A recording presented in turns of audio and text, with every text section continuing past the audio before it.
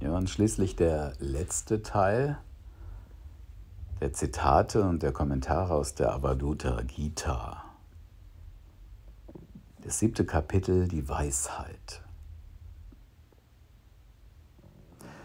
Wie gesagt, die nummerierten Aussagen und die dazugehörigen Kommentare. 1.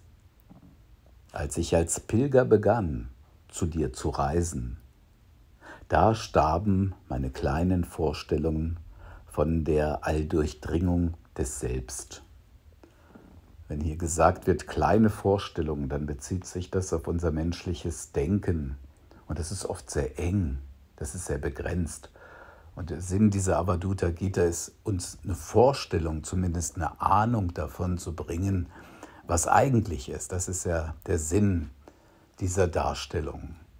Also in das Absolute, ein Stück in das Absolute zumindest sich hineinzufühlen, zu spüren, eine Ahnung davon zu haben, eine Befindlichkeit, wenn du das jetzt zum Beispiel durch diese Zitate wahrnimmst, sich darauf einzulassen, auf diesen Fluss und nicht rational zu argumentieren. Die rationale Argumentation ist sehr begrenzt, aber eben trotzdem, das ist interessant für uns als Menschen, eine Ahnung davon zu bekommen, was es bedeuten könnte.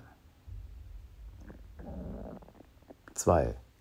Als mein Geist begann, über dich zu meditieren, verlor er jedes Interesse an Gegenständen.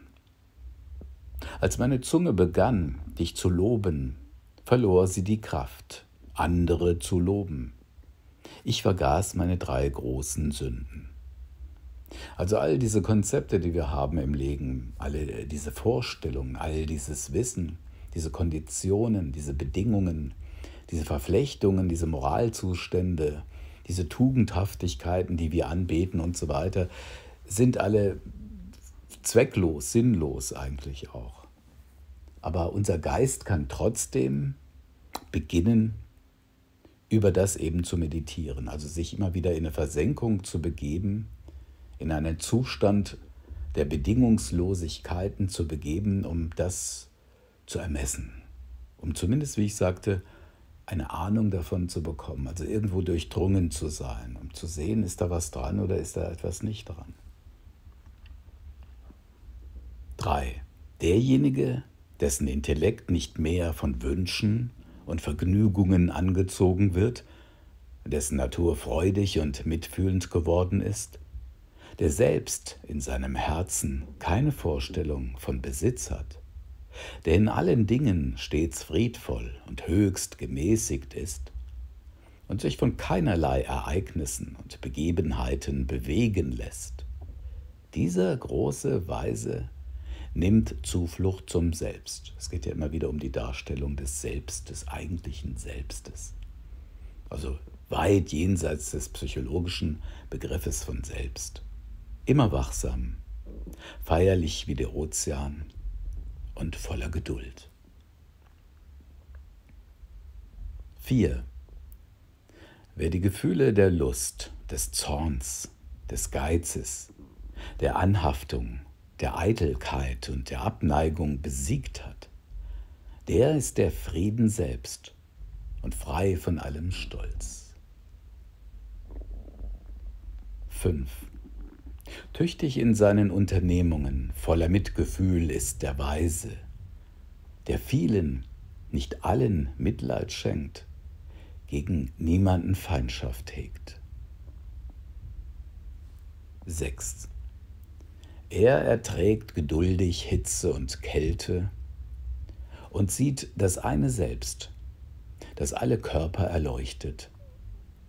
Er wandelt einsam wie ein Nashorn, losgelöst, feierlich und friedlich. Er ist ein Ozean der Wahrheit geworden und ist immer mit der Arbeit der Barmherzigkeit beschäftigt. So ist der Abadut frei von Geburt und Tod, also ewig immer da seiend in dieser Bewusstheit. Und hier auch, er trägt geduldig Hitze und Kälte und das könnten wir beliebig ausweiten auf alles dualistische oder polare, gegenständliche, also widersprüchliche, gegenteilige Das Gegenteilige ist ja das, was uns im Leben sehr bewegt und eben auch die Dynamik spüren lässt. Aber all das ist jenseits davon, durchdrungen von dem Absoluten. Darum geht es ja hier immer wieder. 7. Die Kenner der Wirklichkeit werden die Bedeutung des Wortes Avadut an den vier Buchstaben erkennen, die es bilden.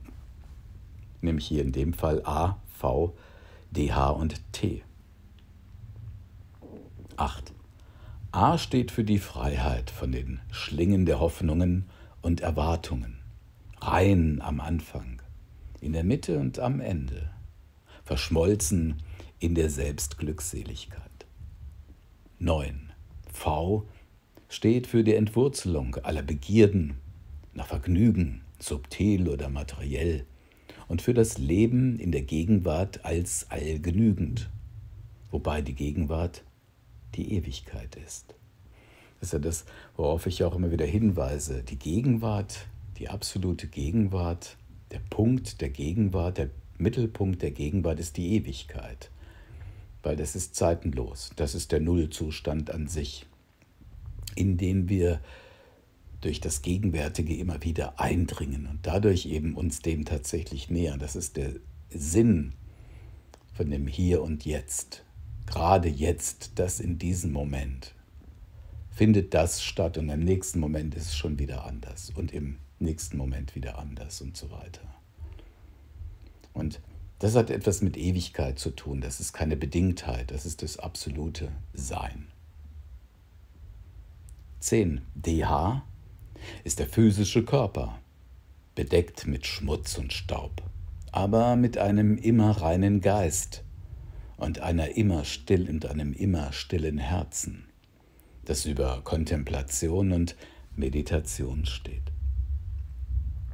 11. T ist die unaufhörliche Kontemplation der ewigen Wahrheit und Gleichgültigkeit gegenüber den Aktivitäten des Geistes und der Sinne. Es steht auch für die Freiheit von Egoismus und Stolz.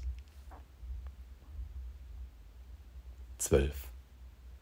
Wehe denen, die dieses Wissen um die Weisheit des Selbst aufgeben, das in sich selbst ewige Freiheit und Freude in allen Welten begründet und sich den Bereichen des begrenzten Vergnügens und der Unwissenheit zuwenden. 13. Diejenigen, die diese ewige Glückseligkeit zu erlangen und sie durch ihre Lehre anderen mitzuteilen wünschen, müssen alle sinnlichen Vergnügungen aufgeben, insbesondere jene, die aus der sexuellen Vereinigung entstehen. Also das ist das Ende der Libido quasi, oder sagen wir mal, die ist eben dann nicht vorteilhaft dafür, weil sie natürlich immer wieder einen Seinszustand schöpft und natürlich wichtig ist für uns als Menschen, aber eben, das ist jenseits davon. Wir brauchen das dann nicht mehr oder es wäre jetzt nicht mehr notwendig. Es ist also auch nichts, was man in dem Sinne loslassen muss und dann das bedauert. 14. Der Körper besteht aus unreinen Elementen, also aus Blut, Fleisch, Knochen und dergleichen. Wehe denen, die daran hängen und dem ewig glückseligen Selbst gegenüber gleichgültig sind. Das ist ja das, wir identifizieren uns sehr stark mit unserem Körper, nicht? mit unseren Organen. Das ganze medizinische System besteht daraus letztendlich.